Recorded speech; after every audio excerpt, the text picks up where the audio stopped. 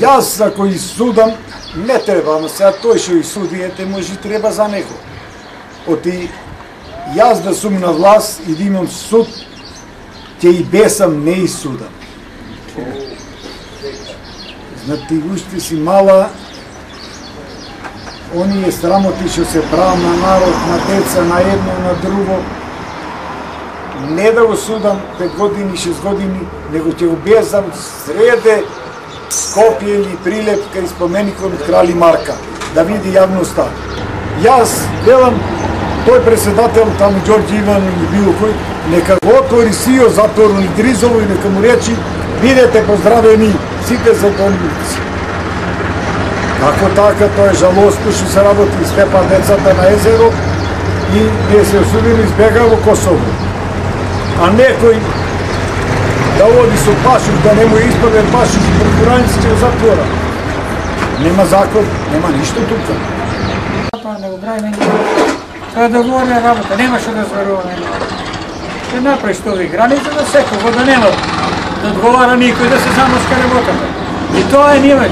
Еден, едно дете мало да урочи ќе ти рече истото ќе ти го каже. Дека ова е смислена работа. Смислена работа, вака, вака треба да види, да се забачка, да нема никој да одговара.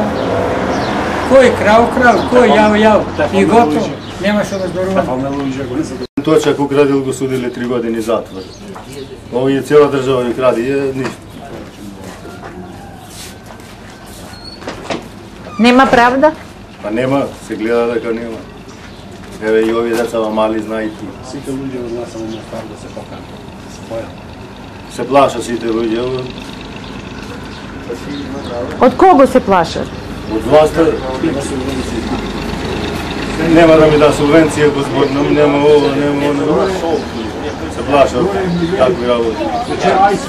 Се плаши со возило од излези по патот. Ќе му ќе го казнува по патот да го се појави. Имало такви случаи во овие години досега во селово?